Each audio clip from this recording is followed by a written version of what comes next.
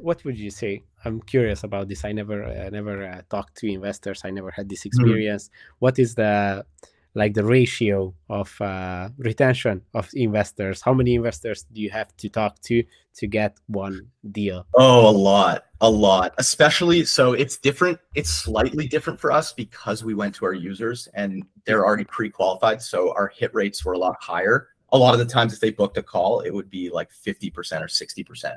Okay. They'd be in um, we've had people actually pull their money, like at the very sign, even sign the agreement, and then a month would go by and they'd be like, I just want to put my money somewhere else. And then they wouldn't follow through. So that did happen mm-hmm. a few times, which is common. So I never count anything done until it's officially yeah. done and the money's in the bank.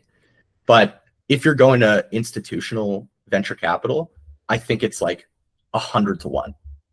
So you have like 80 to 100 conversations and one will really stick but generally you get an idea right at the beginning if they're going to be interested or not. Like so many VCs will get on a call and they in the email they'll say they did research on your business and then they'll be like, so tell me about your business. And then you're like, okay, I don't think that this is going to work. I see.